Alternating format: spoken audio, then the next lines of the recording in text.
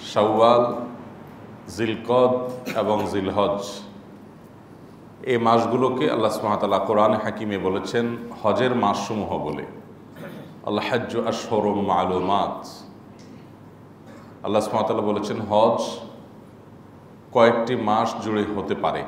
অর্থাৎ হজের সূচনা শুরু, হজের এহরাম বেঁধে হজের উদ্দেশ্যে রওনা হওয়া এবং হারামে প্রবেশ করা এই কার্যক্রমগুলো শুরু হতে পারে এই শাওয়াল মাস থেকেই।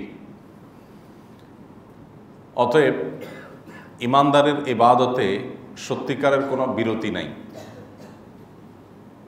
চূড়ান্ত এবং প্রকৃত অর্থে ইমানদারের ইবাদতের বিরতি হল তার মৃত্যুর পর।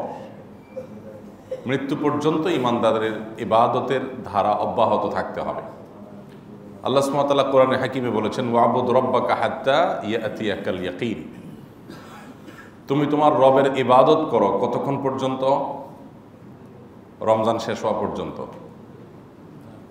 তাহলে কোন পর্যন্ত? অনেক পীর সাহেবরা আছেন, যারা বলেন এবাদত চলবে। ততক্ষণ পর্যন্ত, যতক্ষণ পর্যন্ত কামেল হয়ে না যায় মানুষ। কামেল হয়ে গেলে আর ইবাদত লাগে না। এরকম কিছু পিসাব আছেন না? যে কামেল হওয়ার পরে আর কি লাগে না? এবাদত লাগে না। এরকম অনেক মানুষ আছেন যারা নিজেদেরকে পীর দাবি করেন। তারা নামাজ পড়েন না। তাদের মুরিদদেরকে জিজ্ঞাসা করা হলে তারা বলে যে, আমাদের পিসা বুজুর ওই শরীয়তের দরজা এই স্তর ক্রস করে চলে গেছেন। এখন আর নামাজ কালাম লাগে না। এগুলো লাগে সাধারণ মানুষদের জন্য। তো এই আয়াত তাদের সে সকল দাবির অসত্যতা প্রমাণ করছে। আল্লাহ বলছেন, ওয়াবুদ রব্বাকা হাত্তা ইয়াতিয়াকাল ইয়াকিন। আল ইয়াকিন শব্দের ব্যাখ্যায় প্রায় সকল মুফাসিরগণ আল মৌত বলেছেন। অর্থাৎ, তুমি তোমার রবের ইবাদত করতে থাকো যতক্ষণ পর্যন্ত না তোমার মৃত্যু আসে, মৃত্যু আসলো, বাস তোমার ইবাদতের ধারা শেষ। ইমানদারের রেস্ট হবে, ইমানদারের সত্যিকারের আরাম হবে মৃত্যুর মাধ্যমে। এই জন্যই তো আল্লাহর প্রিয় বান্দারা, তারা মৃত্যুকে ভয় পান না। হ্যাঁ আল্লাহর কাছে কি নিয়ে যাচ্ছি সেই জায়গা থেকে এক ধরনের ভয়, এক ধরনের শঙ্কা তো কাজ করবেই, কিন্তু এক ধরনের আশাও খুব জোরালোভাবে আল্লাহর খাঁটি বান্দাদের থাকে। যে আল্লাহর সঙ্গে সাক্ষাৎ মানে হলো আমার জান্নাত লাভের সুযোগ। অতএব ইমানদারের ইবাদতের ধারা এটা রমাদানের শেষ পর্যন্তও নয়, আবার তথাকথিত কামেল হওয়া পর্যন্ত নয়। তথাকথিত কামেল হওয়া পর্যন্ত যদি ইবাদতের ধারা অব্যাহত রাখতে হতো, তারপরে আর করা না লাগতো, তাহলে মোহাম্মদ সাল্লা সাল্লামের আর ইবাদত করার প্রয়োজন হতো না। অথচ তিনি তার শেষ নিঃশ্বাস ত্যাগের আগ পর্যন্ত আল্লাহর দাসত্ব, আল্লাহর গোলামি অব্যাহত রেখে চলে গেছে কোরআনে হাকিমি আল্লাহ রব্বুল আলমিন বিভিন্ন জায়গায় ইবাদত এবং ভালো কাজের ধারাবাহিকতা ধরে রাখার জন্য আমাদেরকে নানাভাবে নির্দেশ দিয়েছেন। আল্লাহ সুবহান তাআলা কোরআনে হাকিমে বলেছেন, ইন্নাল্লাযীনা ক্বালু রাব্বুনাল্লাহ থুম্মাস্তাকামু তাতানাজ্জালু আলাইহিমুল মালাইকা আল্লাহ তাখাফু ওয়ালা তাহজানু ওয়া আবশিরু বিল জান্নাতিল্লাতী কুনতুম তুআদুন। অর্থাৎ যে সমস্ত লোকেরা বলল যে আমাদের রব আল্লাহ, এই কথার স্বীকৃতি যারা দিল, মনে প্রাণে এই বিশ্বাস যারা ধারণ করল ফুম্মাস্তাকামু এরপর এই কথা, কথার উপরে সরল সঠিক পথে, ডানে বামে না গিয়ে সরল সঠিক পথে অবিচল থাকল, অটল থাকল, টিকে থাকল। এই টিকে থাকা, এটা হলো গুরুত্বপূর্ণ। অনেকেই আমরা ভালো কাজ করি, নেকামল করি। আবার কদিন পরে তার ধারা বিচ্ছিন্ন হয়ে যায়। আমরা ধরে রাখতে পারি না। এই ধরে রাখাটাই হলো মূল চ্যালেঞ্জের ব্যাপার। আপনি রমাদান জুড়ে অনেক ইবাদত বন্দেগি করলেন, অনেক ভালো কাজ করলেন, কোরআনে করিম পাঁচ খতম দিলেন। আপনি রাত জুড়ে ইবাদত করলেন, কিন্তু রমাদানের পরে আপনার মূল কাজগুলোই ছুটে গেল। তো এটা আপনার জন্য কখনোই খুব বেশি গুরুত্বপূর্ণ বিষয় হতে পারে না, খুব বেশি এটা আপনার জন্য আশাব্যঞ্জক বিষয় হতে পারে না। আল্লাহ সুমাতালা বলেছেন, যারা বলল, আমার রব আল্লাহ এ বললেই শুধু হবে না। সুম্মাস্তাকামও এরপর এটার উপরে ইস্তেকামত থাকবে, অটল, অবিচল থাকবে। কন্টিনিউয়াসলি এই বিশ্বাস সে ধরে রাখতে পারবে। এটা যদি কেউ করতে পারে, এই লোকগুলোর জন্য তাদের মৃত্যুর আগ মুহূর্তে আল্লাহর পক্ষ থেকে ফেরেশতারা এসে তাদেরকে সুসংবাদ দিবে। আল্লাহ তাখাফু, যে তোমাদের কোনো ভয় নেই, কোনো ভয় করবে না। ও আবশির বিল জান্নাহ আর যেই জান্নাতের ওয়াদা তোমাদের সাথে করা হতো সব সময়, সেই জান্নাতের সুসংবাদ গ্রহণ করো। আমরা সুসংবাদ দিতে এসেছি। তোমাকে ওয়েলকাম করতে এসেছি। এই জন্য আল্লাহ নেককার বান্দারা সচরাচর এবং বেশিরভাগ ক্ষেত্রে হাসতে হাসতেই তারা দুনিয়া থেকে যান। কারণ শেষ মুহূর্তে তারা জান্নাতের নেয়ামতগুলো দেখতে পান। আল্লাহর ফেরেশতারা তাদের সামনে সেগুলোকে উপস্থাপন করেন। তারা দুনিয়া ছেড়ে চলে যাওয়ার জন্য কোনো বেদনা অনুভব করেন না। বরং আল্লাহর রহমত আল্লাহর অনুগ্রহ, আল্লাহর জান্নাত, আল্লাহর সাক্ষাৎ লাভের জন্য তারা লালায়িত হয়ে, আগ্রহী হয়ে তাদের রুহ বের হয় এবং তারা দুনিয়া থেকে বিদায় নেন। মোহতারাম হাজরি তো সেই সুসময় যেন আমাদের প্রত্যেকের জীবনে আসে, তার জন্য আমাদের ইবাদতের নেকামলের ভালো কাজের ধারাবাহিকতা সবসময় আমাদেরকে আমাদেরকে বজায় রাখার চেষ্টা করতে হবে। কোরআনে করিমের একটা সুরায় আছে সুরায় হুদ। সুরায় হুদে প্রিয় নবী সাল্লা সাল্লামকে আল্লাহ তালা একটা নির্দেশ করেছেন। নির্দেশটা কি? ফস্তাকিম কামা উমিরত। অর্থাৎ হে রাসুল, আপনাকে যেমনটি নির্দেশ করা হয়েছে, ঠিক আপনি ওই নির্দেশের উপরে ইস্তেকামত থাকুন। ওইভাবেই ডানে বামে না গিয়ে যেভাবে বলা হয়েছে, ঠিক সেভাবে ওই নির্দেশের উপর আপনি অটল, অবিচল থাকুন। একদম আপনি সরল, সঠিক পথে সোজা যেতে থাকুন। বিরতিহীনভাবে চলতে থাকুন। ফস্তাকিম কামা অমির ফস্তাকিম কামা অমির আপনাকে যেভাবে নির্দেশ করা হয়েছে, আপনি সেইভাবে চলতে থাকুন। এই আয়াত নাজিল হওয়ার পর নবী করিম সাল্লা সাল্লাম বলেছেন সেই আবাতনিল হুদ। আমার যে দু চারটি দাড়ি, চুল পেকে গেছে তোমরা দেখতে পাচ্ছ, এটা সুরায় হুদের কারণে। সুরায় হুদের ওই নির্দেশটার কারণে এই নির্দেশ আমার কাছে এত ভারী, এই নির্দেশ আমার কাছে এত ওয়েটফুল এবং এই নির্দেশ আমাকে এত বেশি প্রেশারাইজড করছে যে নির্দেশের প্রেশারে আমার চুল দাড়ি পেকে গেছে। যেটা সহজ নির্দেশ না। ফাস্তাকিম কামা অমৃত আপনাকে যেইভাবে নির্দেশ করা হয়েছে, আপনি ওইভাবে অটল থাকুন, অবিচল থাকুন, থামবেন না। নন স্টপ চলতে থাকুন এবং সোজা চলতে থাকুন। ডানে ভাবে যেন না যাওয়া হয়। মোহতারাম হাজরিন এই নির্দেশ নবী সাল্লাহ সাল্লামকে করা হলেও তার মাধ্যমে আমাদের জন্য একই নির্দেশ। এটি অবশ্যই প্রযোজ্য হয়। অতএব একজন ইমানদার হিসেবে আপনার আমার এই হিসেবটা সবসময় প্রতিনিয়ত মেলাতে হবে যে আমাকে আল্লাহ যেভাবে নির্দেশ করেছেন, আমি কি সেভাবে আছি কিনা? এবং আমি ধারাবাহিকতাটা ধরে রাখতে পারছি কিনা? অটল অবিচল থাকতে পারলাম কিনা? টিকে থাকতে পারলাম কিনা? এটা অনেক বড় গুরুত্বপূর্ণ বিষয়। আল্লাহ রব্বুল আলমিন কোরআনে হাকিমে প্রিয়নবী সাল্লাহ সাল্লামের যে ডিউটি ছিল, তার যে দায়িত্ব ছিল, এটাকে সাঁতারের সাথে তিনি তুলনা করেছেন। এবং নবী করিম সাল্লাহ সাল্লামকে আল্লাহ রব্বুল আলমিন তার যে দায়িত্ব সেটা পালন করার জন্য সাঁতার কাটার নির্দেশ এই শব্দটা ব্যবহার করেছেন যে আপনি আপনার কাজে সেভাবে চলতে থাকুন, অর্থাৎ সাঁতার কাটতে থাকুন। সাঁতারের সাথে কেন তুলনা করা হয়েছে? কারণ সাঁতারে কোনো বিরতি হয় না। সাঁতারে কোনো বিরতি হয়? সাঁতার কাটতে গিয়ে কেউ যদি আধা ঘণ্টা মাঝখানে রেস্ট নিতে চায়, সুযোগ আছে কোনো? একদম পাড়ে যাওয়ার আগ পর্যন্ত কোনো রেস্ট করা যায় না। কোনো আরাম করা যায় না। কোনো বিরতি দেওয়া যায় না। নন স্টপ চলতে হয়। হ্যাঁ কখনো গতি হয়তো একটু কম হয়, একটু বেশি হয়, কিন্তু থামা যায় না, চলতে থাকতে হয়। ঠিক একইভাবে একজন ইমানদারের পুরো জীবনটা হলো এই সাঁতার কাটার মতো। ইমানদার তার জীবনের প্রতিটি কাজকে প্রতিটি কাজকে সে এইভাবে, অর্থাৎ প্রত্যেক নেকামলকে, ভালো কাজকে এইভাবে সে করতে থাকবে যে এটার কোনো এটার কোনো স্টপ হবে না। আপনি রমজানে পাচক্ত নামাজ পড়েছেন, রমজানের পরে আপনার সে নামাজের ধারাবাহিকতা আর থাকল না। আপনি পাচক্ত তো পড়ছেন মাসাল্লাহ তারাবিও পড়েছেন। আপনি আরও নফল নামাজ পড়েছেন, কিন্তু এখন পাচক্ত ফরজ নামাজগুলোরই খবর নাই। এখন আপনি জামাতে নামাজ পড়তে পারেন না। আপনার ফজর মিস হয়ে যায়। আপনার ফজরের জামাত মিস হয়ে যায়। তাহলে সেক্ষেত্রে আপনি কিন্তু আপনার ইবাদতের ধারাবাহিকতা ধরে রাখতে পারলেন না। নবী করিম সাল্লা সাল্লাম একটা হাদিস খুবই গুরুত্বপূর্ণ এক্ষেত্রে। তিনি বলেছেন আহাবুল আমাল ইলাল্লাহি আদওয়ামুহা ওয়া ইন কাল। আল্লাহর কাছে সবচেয়ে প্রিয় আমল হলো যে আমলটা বান্দা নিয়মিত করে কন্টিনিউয়াসলি করে যায়। এবং যে আমলের ধারাবাহিকতা বান্দা সব সময় ধরে রাখে। যে আমল উপরে বান্দা অটল অবিচল থাকে, সে আমলটা আল্লাহর কাছে সবচেয়েতে প্রিয়, যদিও পরিমাণে সেটা অনেক কম হয়।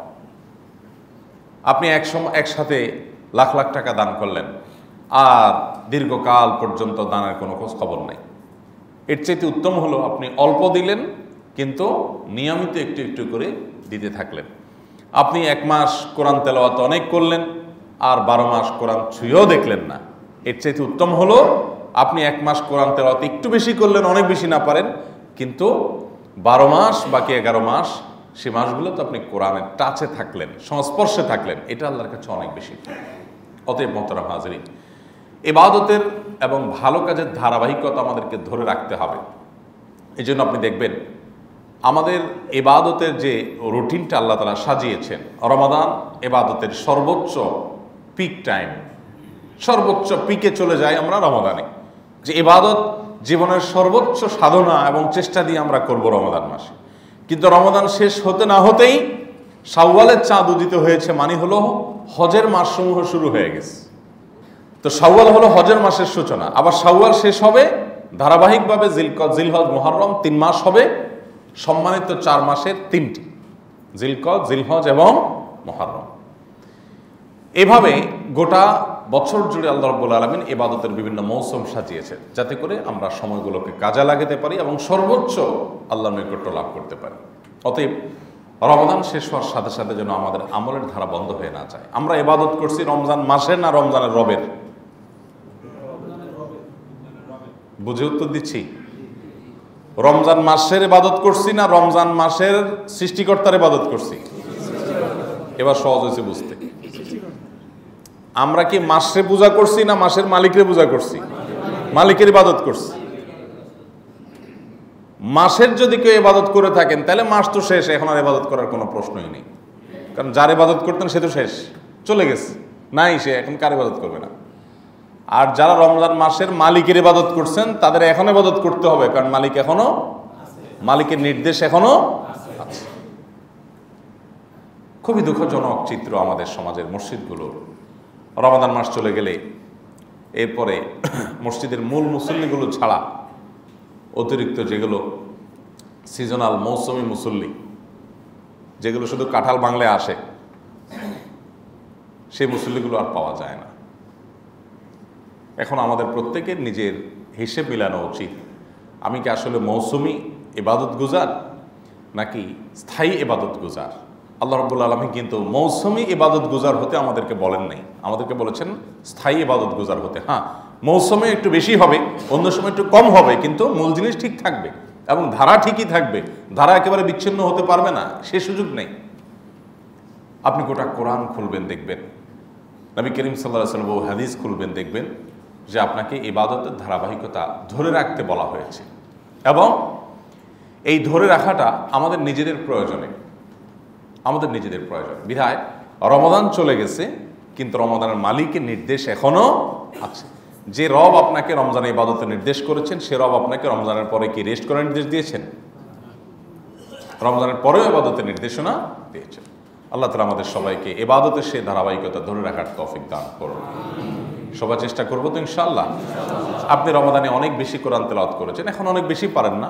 একটা টাইম ফিক্সড করেন। আজকাল আমরা যে পরিমাণ ব্যস্ত, যে পরিমাণ নানা কাজে আমরা এঙ্গেজড আমাদের যদি একটা সময় ফিক্সড না করি, তাহলে সেক্ষেত্রে আমরা এই কাজগুলো করতে পারব না। আপনি তেলাওয়াতের জন্য একটা সময় বের করেন, যে আমি প্রতিদিন এই সময়টাতে তেলাওয়াত করব। যে সময়টাতে আপনার অন্য কোনো এঙ্গেজমেন্ট আসার আশঙ্কা নাই, সম্ভাবনা নাই, সেরকম একটা সময় আপনি নির্ধারণ করেন। রাতে শোয়ার আগে হতে পারে, অন্য কোনো একটা সময় হতে পারে, যে আমি এই সময় একটু তেলাওয়াত করব প্রতিদিন। এক পৃষ্ঠা, দুই পৃষ্ঠা করে হলেও তেলাওয়াত করব। সবচেয়ে ভালো হয় যে আপনি বুঝে বুঝে অর্থ সহকারে জেনে শুনে তেলাওয়াত করেন, সহি, শুদ্ধ করে তেলাওয়াত করেন। আর সেটুকু যদি না পারেন, অন্তত শুদ্ধভাবে তেলাওয়াত শুধুমাত্র করেন, কিন্তু প্রতিদিন করেন। অল্প অল্প করেন, প্রতিদিন করেন। আর নফল রোজা, দেখেন আল্লাহ রব্বুল আলমিন রমজান রোজার পরে আবার শাওয়ালের ছয়টা রোজা দিয়েছেন। কেন? যে একেবারে বন্ধ যেন হয়ে না যায়। শাওয়ালে তোমরা ছয়টা রোজা রাখো। এরপর জিলকদ মাসে আইয়া বীজে তিনটা রোজা রাখো সমৃদ্ধবার রোজাগুলো রাখো। এটা সবালও প্রযোজ্য। আবার জিলহজ মাসে প্রথম নয়টা দিন আমলে বাদতের দিন, সেই দিনগুলোতে নফল রোজা রাখা যেতে পারে। এরপরে আবার মুহররম, নফল রোজার জন্য শ্রেষ্ঠ মাস। তারপরে আবার সফর, রবিউল রবিউসানি জমাদুল্লাহ জমাদুসানি রজব, এই সব মাসগুলোতে আইয়া বীজের অর্থাৎ চন্দ্র মাসের তেরো, চোদ্দ, পনেরো আর সমৃদ্ধি অর্থাৎ প্রত্যেকটা মাসে গড়ে প্রায় এগারো দিন করে নফল রোজার অপশন আছে। এরপর আবার শাবান মাস নফল রোজার জন্য সবচেয়ে শ্রেষ্ঠ এবং আদর্শ মাস আছে। তো এই তৌফিক আল্লাহ রব্বুল আলমিন আমাদেরকে সবাইকে যেন দেন, আমরা যেন সবাই ধরে রাখতে পারি সেই তৌফিক আল্লাহ তালা আমাদেরকে দান করো তাহলে আমল এবং এবাদতের ধারাবাহিকতা, এটা শুধুমাত্র রমজানে নয়, বরং রমজান থেকে নিয়ে পরবর্তী মাসগুলোতে আপনি দেখেন, রোজা শুধু এক মাসে আল্লাহ দেন নাই, প্রত্যেক মাসে রোজার অপশন রাখছেন না, রাখেন নাই। ওই যে চান্দ্র মাসের তেরো, চোদ্দ, পনেরো। নফল রোজা। এখন আমরা অনেকে রমজান মাস পরে, আবার আগামী রমজানের আগ পর্যন্ত আরেকটা রোজা রাখার তাওফিক হয় না। রমজান মাস শেষ, আবার রমজান আসবে। তার আগ পর্যন্ত আর নফল রোজার তৌফিক হয় না। এই যে সৌওয়ালের ছয়টা রোজা। এই ছয়টা রোজা সম্পর্কে আপনারা ইতিপূর্বে শুনেছেন হাদিস। নবী করিম সাল্লাহ সাল্লাম বলেছেন, বারবার আমরা জানিয়েছি আপনাদেরকে মানসম রমদান, সুম্মা সিত্তামিন শাওয়াল। যে ব্যক্তি রমজানের রোজা রাখল, এরপর শাওয়ালের ছয়টা রোজা রাখল। রমজানের রোজা রাখার পরে শাওয়ালের ছয়টা রোজা রাখল কাহানাক্কা সিয়ামিদ দাহার। সে পুরো বছর জুড়ে রোজা রাখার সব পেল। অনেক ওলামা একরাম বিষয়টিকে গবেষণা করে এভাবে বলেন যে রমজানের রোজা সাধারণত সর্বোচ্চ ত্রিশ দিন হতে পারে, একত্রিশটার হয় না। ত্রিশ, এক মাসের রোজা। আর সাথে আরও ছয়টা রোজা আপনি যুক্ত করলেন শাওয়ালের। তাহলে কয়টা হলো? ছত্রিশ। আর আল্লাহ রব্বুল আলমিন আমল সাধারণত সর্বনিম্ন দশ গুণ বাড়িয়ে দেন। তাহলে ছত্রিশকে দশ দিয়ে গুণ দিলে কত হয়? তিনশো ষাট। চান্দ্রবর্ষের দিনগুলো এই তিনশো ষাট দিনের রোজা রাখার সব আল্লাহ রব্বুল আলমিন দান করবেন। শুধুমাত্র এই ছয়টা রোজা অ্যাড করলে। তাহলে এই অফার কে মিস করে? রমজানের তিরিশ যখন রাখা হয়েছে, আলহামদুলিল্লাহ, ত্রিশ হোক আর উনত্রিশ হোক, রমজান মাস যেহেতু রাখা হয়েছে, এখন শাওয়ালের ছয়টা রোজার সাথে অ্যাড করতে হবে। তাহলে এই ছয়টা রোজার মাধ্যম বাকি এগারো মাসও রোজা রাখার সব আমার যুক্ত হয়ে যাবে, ইনশাআল্লাহ। আল্লাহ আমাদের সবাইকে তফিক দান করুন। শাওয়ালের ছয়টা রোজা আগে নাকি ভাঙতি রোজা আগে? এটা আমাদের সবচেয়ে কমন প্রশ্ন। যাদের সফরের কারণে অসুস্থতার কারণে রোজা ভাঙতি হয়েছে, মা বোনদের মাসিকের কারণে রোজা ভাঙতি হয়েছে ওনারা ভাঙতি রোজাগুলো, ফরজ যেগুলো ভাঙা গেছে, সেগুলো আগে রাখবেন নাকি শাওয়ালেরগুলো আগে রাখবেন? এর উত্তর হলো, সন্দেহাতীতভাবে ভাঙতিগুলো আগে রাখা উত্তম। ভাঙতিগুলো, ফরজগুলো আগে রেখে তারপরে শাওয়ালের রোজা রাখা উত্তম। এখন মা বোনদের অনেকের দশ দিন পর্যন্ত আপনার মাসিকের কারণে রোজা ভাঙতি থাকে। তো সে দশটা রোজা, সাড়ে ছয়টা রোজা, অর্থাৎ ষোলোটা রোজা এক মাসে রাখা লাগে, একটু প্রেশার হয়ে যায়। তো সেক্ষেত্রে অনেক মা বোনরা সেটা করতে পারেন না। তাহলে সেক্ষেত্রে তারা কি শাওয়ালের ছয়টা আগে আর ভাঙতিগুলো পরে রাখতে পারবেন কি না? উত্তর হলো পারবেন।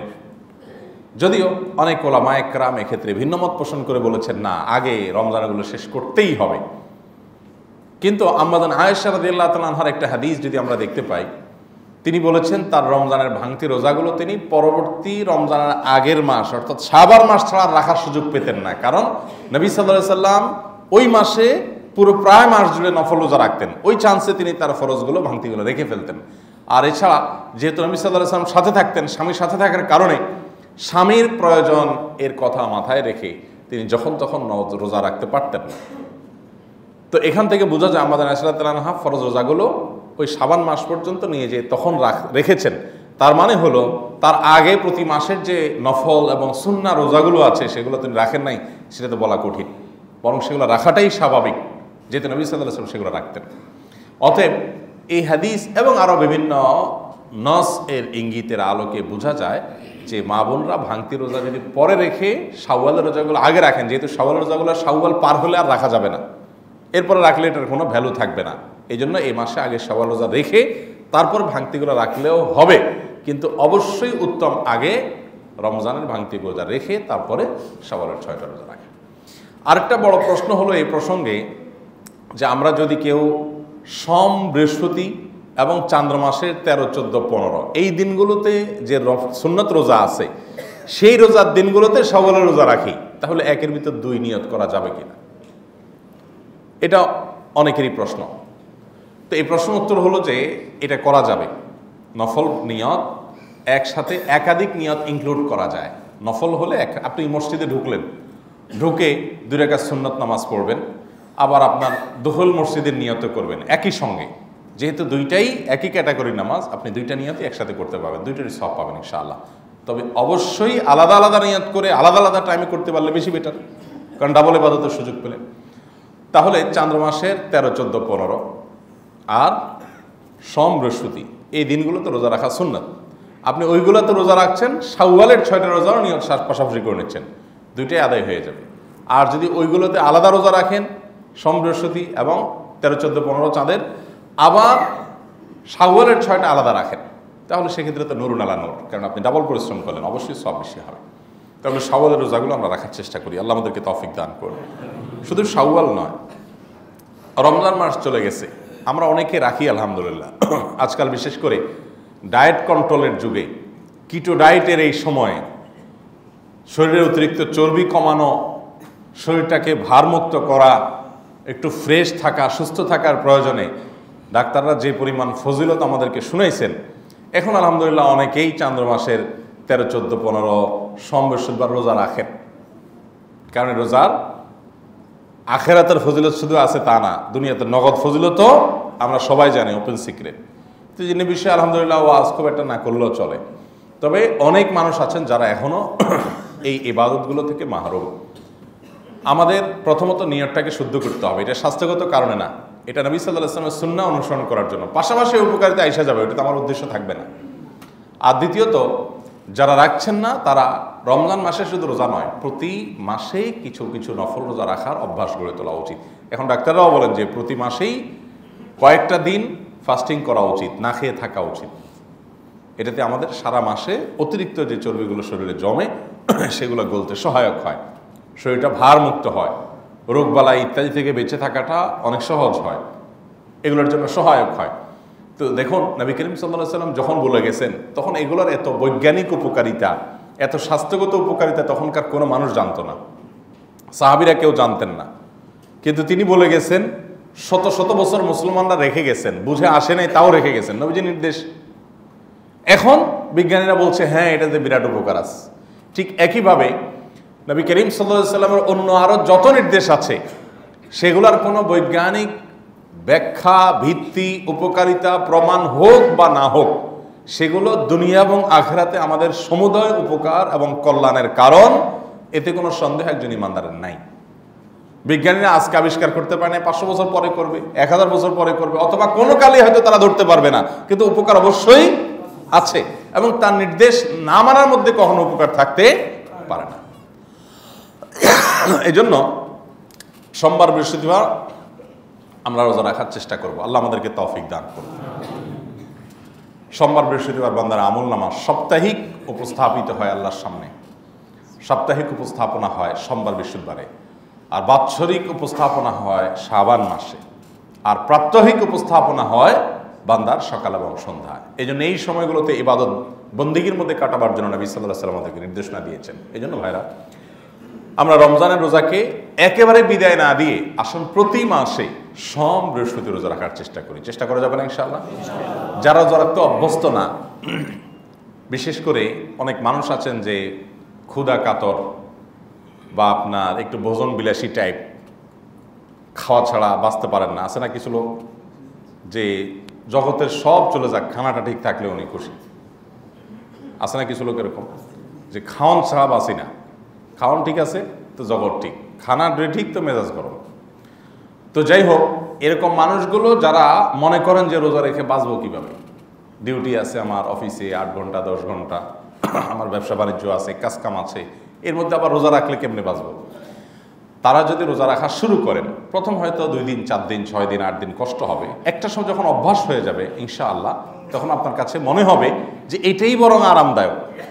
খেয়ে অফিস করার চাইতে খেয়ে ডিউটি করার চাইতে রোজা রেখে করাটা অনেক বেশি আরামদায়ক, অনেক বেশি সহজ, অনেক বেশি সহনীয়। এটা যারা নিয়মিত করেন, তাদেরকে জিজ্ঞেস করলে আপনি টের পাবেন। যে তাদের কাছে এটা কোনো ব্যাটারই না। একদম জিনিসটা তাদের অভ্যাস হয়ে গেছে। আর সাধারণত এই জাতীয় বিষয়গুলো মানুষের অভ্যাসের সাথে আসলে সংশ্লিষ্ট। মানুষের অভ্যাস যখন একটাভাবে মানুষ করে ফেলে সেট করে ফেলে, তখন এর ব্যতিক্রমটা মানুষ নিতে পারে না। এই জন্য আপনার অভ্যাসটা দূর করার জন্য কিছুদিন মনের বিরুদ্ধে গিয়েও আপনি নফল রোজাগুলো রাখা, সুন্নত রোজাগুলো রাখা শুরু করেন। দুই মাস, চার মাস যখন রাখলেন, এরপরে সারা জীবনের জন্য ওইটা আপনার অভ্যাসে পরিণত হয়ে যাবে। আপনি বরং ওইটা ছাড়া বাঁচবেন না। ওইটাই আপনার কাছে দেখবেন যে আরামদায়ক হয়ে গেছে। আল্লাহ আমাদের সবাইকে তফিক দান করুন চাঁদের তেরো, চোদ্দ, পনেরো। এই দিনগুলোতে নফল রোজা রাখা, এটার ব্যাপারে নবী করিম সাল্লাহ সাল্লামের বেশ অনেকগুলো হাদিস আছে। মাসে অন্তত তিনটা দিন নফল রোজা রাখার ব্যাপারে নবী সাল্লাহ সাল্লাম আবুদুল গেফরাদুল্লাহ তালনকে আবুর রাদুল্লাহ তালনকে অনেক সাহাবিকে তিনি বিশেষভাবে ওসিয়ত করেছেন। বিশেষভাবে, যে এই দিনগুলো তোমরা রোজা রাখবে। সেই সাথে আরেকটা গুরুত্বপূর্ণ বিষয় হলো যে আমরা জানি যে এখন ব্ল্যাক ম্যাজিক এবং যেটাকে বলে বদনজর দুষ্টজনের উপদ্রব। আমি প্রায় সময় বলার চেষ্টা করি। এখন প্রায় বেশিরভাগ ফ্যামিলি এ সকল সমস্যায় জর্জরিত। অনেকে টের পাচ্ছেন, অনেকে টের পাচ্ছেন না। আর আল্লাহর কালামের জীবন্ত মজেজা, শুধুমাত্র এই ব্ল্যাক ম্যাজিকের ট্রিটমেন্ট আপনার দুষ্টজনের উপদ্রবের ট্রিটমেন্ট এক্ষেত্রে যে আল্লাহর কালামের তেলাওয়াত করা হয়, এটা যদি কেউ প্রত্যক্ষভাবে একটু দেখেন, একটু নির্মোহভাবে একটু শুধু দেখেন, খুব গভীরে ঢোকার দরকার হবে না। শুধু সাদা চোখে, খোলা চোখে যদি একটু দেখেন তাহলে ইমানের মিটার পাতাল থেকে আকাশে চলে যাবে। এবং আপনি অবাক হবেন যে কোরআন কীভাবে কাজ করে। কোরআনের এই একটা জীবন্ত মজেজা যেটা নিয়ে আমি হলফ করে চ্যালেঞ্জ করে বলতে পারি যে আপনার আর কিছু দরকার হবে না। আপনি শুধুমাত্র খুব কাছে থেকে কোরআনের তেলাওয়াত কীভাবে এফেক্ট করে একটা মানুষের সুস্থতার জন্য, আপনি সেটা অবাক হবেন। আমি প্রতিনিয়ত দেখি, আলহামদুলিল্লাহ। আল্লাহ আমাকে প্রতিনিয়ত দেখার তৌফিক দেন। আপনি যদি একটু দেখেন যে ব্ল্যাক ম্যাজিকের রুগীকে কীভাবে শুধু কোরআন তেলাওয়াত করে আর কীভাবে লোকটা মুহূর্তের ভিতরে সুস্থ হয়ে ওঠে, কীভাবে তার প্রভাব পড়ে, আপনি অবাক হয়ে যাবেন। অনেকে, আমরা বেশিরভাগ মুসলমানরা এখনও এই জগৎ সম্পর্কে ধারণা রাখি না। এই জগৎ সম্পর্কে ধারণা রাখি না, অনেকে বরং নেতিবাচক ধারণা রাখেন। নেতিবাচক ধারণা ধারণা রাখেন, তাদেরকে আমি ব্লেম দেই না, দোষ দেই না। কারণ হলো, এই জগতে আপনার কবিরাজি করার নাম দিয়ে, খনকারি করার নাম দিয়ে চিটারি বাটপারির পরিমাণ অনেক বেশি হয়। তো এগুলো দেখতে দেখতে আমরা চুন খেয়ে গাল পুড়িয়ে আমরা এখন দই দেখলে ভয় পাই। ব্যাপারটা এরকম হয়ে গেছে।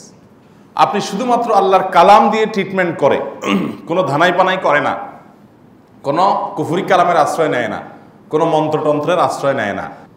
এরকম যদি মানুষ পান রাকি আল্লাহ ভীরু তো কোরআন কীভাবে একজন ব্যক্তির সুস্থতার জন্য, শেফার জন্য কাজ করে? আপনি কাছে থেকে দেখলে আপনার কাছে দিনে আলো মতো পরিষ্কার হবে। আমি আমার ফ্যামিলিতে, পরিবারে প্রতিনিয়ত এই ধরনের বিষয়গুলো একেবারে খুব কাছে থেকে দেখতে পাই এবং মানে তখন আপনার ইমানের মিটার যে কোথায় যেয়ে ঠেকবে আপনি কল্পনা করতে পারবেন। তো তো বলছিলাম ব্ল্যাক ম্যাজিকের কথা এই ব্ল্যাক ম্যাজিক এখন ঘরে ঘরে। আমরা অনেকে জানি অনেকে জানি না। অনেকে টের পায়, অনেকে টের পাই না। বাচ্চার হঠাৎ করে খাওয়া দাওয়া বন্ধ। খাওয়া দাওয়া করে না। আপনি ডাক্তার দেখাচ্ছেন, কবিরাজ দেখাচ্ছেন, আপনি বিভিন্ন টেস্ট করতেছেন, ভিটামিন খাওয়াচ্ছেন, নানা চেষ্টা করতেছেন, কিন্তু কোনোভাবে বাচ্চা খাওয়ার ফিরে না। হয়তো বদনজর লাগছে কারণ কিন্তু আপনি যদি রকিয়া করেন সঠিকভাবে, আপনি নসিব ভালো হলে রকিয়া যদি জায়গা মতো হয়, তো আপনি দেখবেন যে কত দ্রুততার সাথে পরিবর্তন। ঠিক একইভাবে বাচ্চা কেন? অনেক বড়দের অনেক সমস্যা হয়। একের পর এক অসুবিধা, একের পর এক সমস্যা। ব্ল্যাক ম্যাজিক করা হয়। ব্ল্যাক ম্যাজিক এখন সারা পৃথিবীতে, আধুনিক পৃথিবীতে এখন এটা স্বীকৃত বিষয়। আমি প্রায় সময় বলি, এই যে বিশ্বকাপ ফুটবল গেল। এই ফুটবলকে কেন্দ্র করে অনেকগুলো বিভিন্ন আন্তর্জাতিক গণমাধ্যমের নিউজ আমাদের দেশীয় পত্রপত্রিকা উঠে আসছে। আমার চোখে পড়েছে। যে বিভিন্ন খেলোয়াড়রা অন্য খেলোয়াড়দেরকে নিয়ন্ত্রণ করার জন্য ব্ল্যাক ম্যাজিকের আশ্রয় নেয়। ব্ল্যাক ম্যাজিক দিয়ে দুর্বল করা, আবার পাল্টা ব্ল্যাক ম্যাজিক করা হয়। তো এগুলো এখন সারা পৃথিবীতে ওপেন সিক্রেট আমাদের দেশে এখন বিভিন্ন জায়গায় আপনার ব্ল্যাক ম্যাজিশিয়ানদের দিয়ে ভরে গেছে। এত পরিমাণ ব্ল্যাক ম্যাজিশিয়ান আপনি কল্পনা করতে পারবেন না। একদম কাছের লোক, সে আপনার আপোষের দাবি জানতে গেছে কোনো এরকম জাদুকরের কাছে, কোনো এরকম খারাপ মানুষের কাছে। তো আপোষ করতে গিয়ে দেখা গেল এমন কিছু করেছে যে আপনার অবস্থা খারাপ। আপনি অসুস্থ হয়ে গেছেন, শেষ। এদিকে ট্রিটমেন্ট করতে করতে কিছুতেই ধরা পড়ছেন তো এই ব্ল্যাক ম্যাজিকগুলো সাধারণত ব্ল্যাক ম্যাজিশিয়ানরা জাদুকরেরা, তারা করে হলো যে সময়গুলোতে করে, এর ভিতরে একটা গুরুত্বপূর্ণ সময় হলো তেরো, চোদ্দ, পনেরো চান্দ্র মাসের। তো এই দিনগুলোতে নফল রোজা যারা রাখে, আল্লাহ তালা সাধারণত তাদেরকে সেফ রাখেন। যারা রুকিয়া করে, ঝাড়ফুঁক করেন, ওনারা পরামর্শ দেন যে এই দিনগুলোতে নফল রোজা রাখবেন। এই জন্য ভাই, নফল রোজা নবী করিম সাল্লাহ সাল্লাম যখন যখন রাখতে বলেছেন, আপনি আমি জানিও না কল্পনা করতে পারব না। আমাদের কাছে মনে হবে সম্বেশবার রোজা, এই তো সুন্নত নফল, এই তো পাল্লা রাখা না রাখলে না এর যে কত উপকারিতা, এটার যে কত ইফেক্ট আপনার আমার জীবনে ইতিবাচকভাবে পড়বে, সেটা আমরা কল্পনা করতে পারব এই জন্য রমাদানকে বিদায় দিয়ে আমাদের ইবাদত যেন থেমে না যায়। আল্লাহ তো আমাদের সবাইকে আমৃত্যু, মৃত্যুর আগ পর্যন্ত ইবাদত এবং নেকামলের ধারাকে ধরে রাখার তফিক দান করুন। আর কিছু করতে না পারেন, রমাদান চলে গেছে। কয়েকটা বিষয়ের প্রতি একটু বিশেষভাবে যত্নশীল থাকেন। নাম্বার এক, শয়তান আপনার শত্রু। রমাদানের সে শৃঙ্খলাবদ্ধ ছিল, এখন মুক্ত হয়ে গেছে। আপনার ভালো কাজ করতে মন চায় না, আপনি সাথে সাথে ধরে ফেলবেন, শয়তান আপনাকে ভালো কাজ করতে দিচ্ছে না। আপনাকে মানসিকভাবে সে বিভিন্নভাবে প্রতারিত করছে। এবং আপনাকে এই বাদলবন্দিকে দূরে সরাচ্ছে। শয়তানের ফাঁদ সম্পর্কে সতর্ক থাকতে হবে। রমদানের পরে খুব বেশি শয়তানের ফাঁদ, শয়তানের চক্রান্ত, শয়তানের কুমন্ত্রণা, তার বিভিন্ন রকমের আমাদেরকে প্রভাবিত করার যে শক্তি আল্লাহ তালা তাকে দিয়েছে।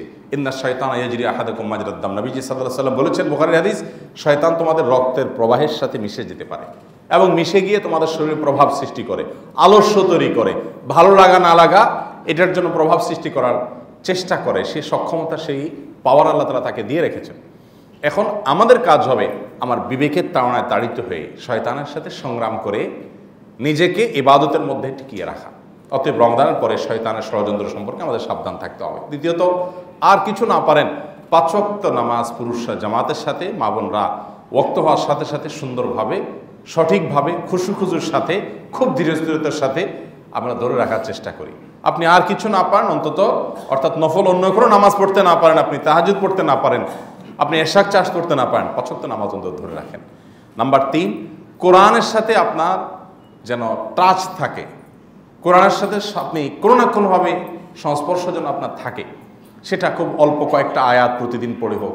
আধা পৃষ্ঠা তেলাওয়াত করে হোক, একটা করে আয়াত প্রতিদিন আপনি তেলাওয়াত করেন, বোঝার চেষ্টা করেন, রপ্ত করার চেষ্টা করেন সারাদিন ওটা মাথায় ঘোরাবার চেষ্টা করেন, কোরআনের সাথে একটু সময় আপনি কাটাবার চেষ্টা করেন। আর চতুর্থত হলো, ভালো এবং নেককার সঙ্গীগুলো খুঁজে খুঁজে, যে মানুষগুলো এবাদত গুজার, হারাম থেকে বাঁচার জন্য যুদ্ধ করে, সংগ্রাম করে, ভালো মানুষ, সত্যিকারের ভালো মানুষ, কোরআন হাদিস যা বলেছে, তার বাস্তব উদাহরণ, এরকম মানুষ পেলে তাদের সংস্রব তাদের সান্নিধ্য, তাদের সাথে উঠা বসা, তাদের সোহবত, এটা খুব বেশি গুরুত্বপূর্ণ। আপনার ভালো থাকার জন্য এটার চাইতে কার্যকর আর কিছু নেই। কারণ এই সান্নিধ্যের প্রভাবে মানুষ ভালো থাকে, আবার সান্নিধ্যের প্রভাবে মানুষ নষ্ট হয়। অতএব এটা খুব গুরুত্বপূর্ণ।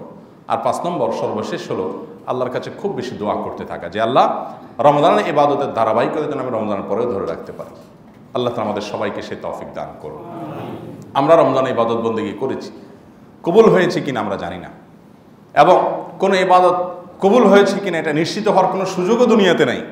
কিন্তু বিভিন্ন ওলামা একরাম ইসলামিক স্কলারগণ, মুহাদ্দিসগণ কোরআন এবং হাদিসকে ঘাটাঘাটি করে তাদের অভিজ্ঞতার আলোকে কিছু আলামতের কথা বলেছেন। যে আলামতগুলো দেখলে অনুমান করা যায়, সুধারণা পোষণ করা যায় যে এই আমলটা সম্ভবত কবুল হয়েছে।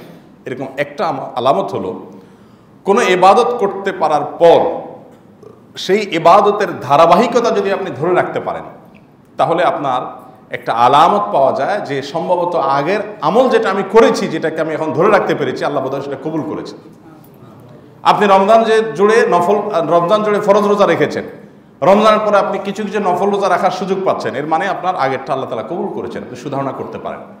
রমজানে আপনি অনেক নামাজ কালাম করেছেন, রমজানের পরে আলহামদুলিল্লাহ নামাজের ধারাটা আপনি ধরে রাখতে পারছেন, অল্প হলেও ধরে রাখতে পারছেন। এটা একটা আলামত যে আপনার রমজানের ইবাদত কবুল হয়েছে। রমজানে তেলাওয়াত করেছেন অনেক বেশি। তেলাওয়াত শুনেছেন। রমজানের পরে এত বেশি পারেন না, কিন্তু তার ধারাটা ধরে রাখতে পেরেছেন। এখান থেকে আপনি সুধারণা পোষণ করতে পারেন যে রমজানের তেলাওয়াতটা আল্লাহর কাছে কবুল হয়েছে। কারণ দুনিয়ার নিয়মও হলো যে কেউ কাউকে যদি বাকি দেয়, তো আগের বাকি পরিশোধ করে দিলে নতুন করে আবার বাকি দেয়। আল্লাহ রব্বুল আলমী আপনার আগের এবাদতে সন্তুষ্ট হলে নতুন করে আপনাকে এবাদতের তৌফিক দিবেন, সেটাই স্বাভাবিক। অতএব আপনার আমার ইবাদত রমদানে কোনটা কোনটা কবুল হয়েছে, কোনটা কোনটা কবুল হয়নি, নিশ্চিত হওয়ার কোনো সুযোগ নেই। নিছক আলামত, নিশ্চিত হব শুধুমাত্র কেয়ামতে। কিন্তু আলামত আমরা পেতে পারি এভাবে যে আমলগুলোর ধারাবাহিকতা আমরা ধরে রাখতে পারছি, সুধারণা করা যায়, আল্লাহ তালা হয়তো সেগুলো কবুল করেছে। আল্লাহ তালা আমাদের সবাইকে রমদানের সমস্ত নেকামলের ধারাবাহিকতা, পরিমাণ অল্প হলেও রমদানের পরে সারা বছর জুড়ে ধরে রাখার তৌফিক দান করুন। সবার চেষ্টা করব তো ইনশাআল্লাহ। জাজাকমুল্লাহ খায়রা। ছোট একটা বিষয়। ঈদ উপলক্ষে দুইটা জিনিস আমাদের চোখে আসছে, আপনারা সবাই দেখ, লক্ষ্য করেছেন। আমি ঈদের দিন গ্রামে গিয়েছি, ঢাকা থেকে ঈদের নামাজ পড়ায়। তা আমি খেয়াল করেছি, পথে না হলে অন্তত বিশ তিরিশটা জায়গায় পিক আপ ভর্তি কিছু ছেলে ফেলে তারা গান বাজনা গেয়ে, নেচে গেয়ে তারা উল্লাস করছে, উৎফুল্ল হচ্ছে, তারা ঈদ উদযাপন করছে। আপনারাও দেখছেন না এরকম? এই সমস্যাটা বা এই কালচারটা আমাদের দেশে গত দশ পনেরো বছর আগে ছিল। সাত আট বছর আগেও ছিল না। এই কালচারটা আস্তে আস্তে খুব ভয়াবহ আকার ধারণ করছে। এর কারণে দুর্ঘটনা ঘটছে, অহরহ, নানা রকমের অপ্রীতিকর ঘটনা ঘটছে। সর্বশেষ সিলেট বিভাগের হবিগঞ্জে না কোন জায়গায় যেন কোন মোয়াজেন সাহেব বাধা দেওয়ার পর যেটা সোশ্যাল মিডিয়াতে আমি দেখেছি, প্রকৃতির সত্য আল্লাহ ভালো জানেন, যে তাকে আঘাত করা হয়েছে, প্রহার করা হয়েছে, একটা পর্যায়ে তিনি মৃত্যুবরণ করেছেন। তো যে ছেলেগুলো এই উশৃঙ্খলতা করছে, এরা আমাদেরই ছেলে, আমাদেরই ছোট ভাই। এরা এটাকে মনে করছে ঈদ উদযাপন। কিন্তু এদেরকে যদি আমরা থামাতে না পারি, তাহলে পরিস্থিতি কোথায় গিয়ে থামবে? একটা পর্যায়ে এগুলো আস্তে আস্তে বাড়বে, কারণ পাগলামি এবং মাতলামির বয়সটাই হলো এটা। উন্মাদনার বয়সটাই এটা। এটাকে যদি সামাজিকভাবে, পারিবারিকভাবে নিয়ন্ত্রণ করা না হয়, একটা পর্যায়ে এটা কোথায় গিয়ে থাকবে? এটা প্রতিটা পাড়ায় পাড়ায় হবে, মহল্লায় মহল্লায় হবে। তখন আমরা প্রত্যেকটা মানুষ অতিষ্ঠ হব। এই যে বিকট আওয়াজে আশপাশের পরিবেশটা নষ্ট করা রাস্তায় বেপরোয়া গাড়ি চালানো, তারপর আপনার শব্দ সন্ত্রাস সৃষ্টি করা, তারপর যে গান শুনতে চায় না তাকেও গান শুনতে বাধ্য করা, এ সকল বিষয় আসগুলো এগুলোর জন্য প্রশাসনের যেমন দায় দায়িত্ব আছে, আমাদের প্রত্যেকটা মানুষের, প্রত্যেকটা পরিবারের যারা প্রধান আছেন তাদেরও দায় দায়িত্ব আছে। আমার কাছে মনে হয়েছে এ বিষয়ে আমাদের প্রত্যেকটা মানুষের নড়ে চড়ে বসা উচিত এবং প্রতিটা এলাকা, ঈদগাহ কমিটি, মসজিদ কমিটি, বাড়ি মালিক সমিতি, তারপরে ফ্ল্যাট মালিক সমিতি, তারপর এছাড়া যত রকমের সমিতি আছে, যত রকমের প্ল্যাটফর্ম আছে, সবার সম্মিলিত উদ্যোগ এবং সিদ্ধান্ত নেওয়া উচিত যে আমাদের এলাকায় এরকম অনাচার একটিও করতে আমরা দেব না। ছেলেফেলেকে থামিয়ে বুঝিয়ে আমরা তাদেরকে বাড়িতে ফেরত পাঠাবো। তোমার যদি গান শুনতে মনে চায়, তুমি যদি গান শুনো তোমার হারাম হবে, তোমার গুণা হবে, তুমি তোমার বাড়িতে গিয়ে শোনো। তুমি রাস্তায় এসে আশপাশের সবাইকে গান শোনাতে বাধ্য করতে পারো না। যারা বিশেষ করে গাড়ি চালান, আমি নিজে ড্রাইভ করি, আলহামদুলিল্লাহ, মাঝে মধ্যে, প্রয়োজন হলে। ঈদের দিন আমি নিজে ড্রাইভ করে যাচ্ছিলাম গ্রামে। আমার কাছে যেটা মনে হলো, যে এদের এই বিকট আওয়াজের কারণে পেছনের কোনো গাড়ি হর্ন দিচ্ছে কিনা, আমি শুনতে পাচ্ছি না। ইভেন ওর যে ড্রাইভার ওই বেচারা আরেকজন মনে করেন ব্রেক ফেল করছে। সে পিছন থেকে আসছে হর্ন দিতে দিতে। কিন্তু এই ভদ্রলোকের গাড়িতে এত বিকট আওয়াজ, এ তো হর্ন কিছু শুনতে পাবে না। তখন কি হবে? একেবারে নির্ঘাত দুর্ঘটনার দিকে যাবে। তো এই যে প্রচলিত আইন লঙ্ঘন হচ্ছে, কোরআন হাদিস ধ্বংস কোরআন হাদিসের নির্দেশ আপনার ভুলুণ্ঠিত হচ্ছে, তারপর আমাদের তরুণরা, বিশেষ করে কিশোররা এবং কিশোরদের মধ্যে কিশোর গ্যাং বের হয়েছে আজকাল। যে ভয়ঙ্কর একটা চিত্র। আরেকটা নতুন করে মরার উপরে খড়ার গা যুক্ত হয়েছে। TikTok video. আসতে যাইতে আমি খেয়াল করছি, মেয়ে, ছেলে, বিভিন্ন জায়গায় পাঁচ, ছয়টা মোবাইল নিয়ে, ক্যামেরা নিয়ে, রাস্তার মধ্যে, যেখানে আপনার দূরপাল্লার গাড়ি চলছে মানে খুব জোর গতিতে, সেখানে দেখা যাচ্ছে যে কতগুলো এখানে কাইতে শুয়ে রয়েছে, ওখানে চিতুয়ে শুয়ে রয়েছে, এক একটা, এক এক ঢঙ্গে স্টাইলে। বোঝা যাচ্ছে যে এগুলোর টিকটকে ধরছে। আমরা সারা জীবন শুনছি, জিনে ধরে, ভূতে ধরে। এখন নতুন করে শুনতেছি, কিসে ধরে? টিকটকে ধরে। এখন টিকটকে ধরছে। এই টিকটকে ধরা যে এই রোগীগুলো আছে এই রোগীগুলোকে এমনি দিলে, ছেড়ে দিলে হবে নাকি এগুলো সুস্থ করে তুলতে হবে? তো সুস্থ করে তুলতে হলে প্রত্যেক পরিবার থেকে আমাদের দায়িত্ব নিতে হবে না, উদ্যোগ নিতে হবে না? সমাজে, আমাদের দেশে আলহামদুলিল্লাহ অনেক ভালো ভালো কল্যাণমূলক উদ্যোগ হয়। ঈদগাহ কমিটি, মাহফিল কমিটি, তাফসির কমিটি, যুবকদের কমিটি, এই সমস্ত কমিটি থেকে ডিসিশন নিতে হবে। আপনারা বিভিন্ন এলাকায় নেতৃত্বশীল পর্যায়ে আছেন, অথবা নেতৃত্বশীল মানুষদের সাথে আপনাদের লিঙ্ক আছে। সবাইকে সচেতন করেন যে সামনে ঈদুল আজহাতে আমি আমার এলাকাতে অন্তত এই অনাচার হতে দেব না। সবাই সতর্ক যদি হই, সচেতন হই। থামানো সম্ভব কি সম্ভব না, ইনশাআল্লাহ। অথবা আমরা সবাই আসুন, সতর্ক হই।